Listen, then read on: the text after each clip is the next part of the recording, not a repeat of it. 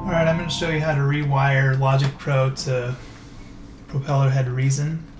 And so you open Logic Pro first and then and then Reason. And then you go into Logic and you go down to Mixer and then you hit Options and you click Create New Auxiliary Channel Strips and then Stereo and then it'll allow you to do the left and right stereo mix. That way, it'll when you pan in Reason, it can it'll work accurately with Logic. And whatever tracks you load, so we'll just load up a little little something real quick, and it should be playing into Logic. I'm getting signal, and I'll have to turn up get the audio drivers right, but